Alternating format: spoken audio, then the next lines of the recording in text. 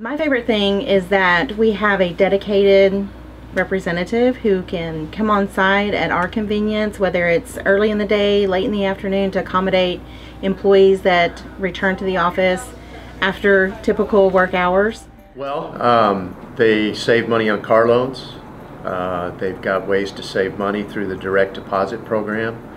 Um, they can, you know, even get house loans. Um, it's just, you know, it benefits our employees to be able to try to take the money that they earn here and, and use it to better their lives. Well, I had an employee who did not want to save. He was gun ho that he was not going to save any money or he couldn't save any money. Well, I finally convinced him that you, you can save money. Even if it's just $10 a week, you can save money. Well, he didn't come straight to me. He didn't go through Charlotte. He decided to go straight to the Mesquite branch. But when he went over there, he found out that there were a lot of perks because we were an SEG member. The customer service was fabulous. They came out and um, spoke with all of our employees. I told us all that they had to offer.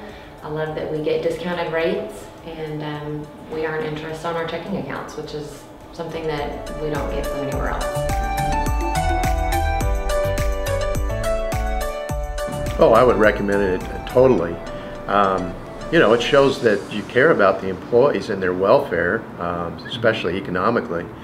Putting this in your benefits package is just going to help retain your employee. It's going to give them that incentive to continue on.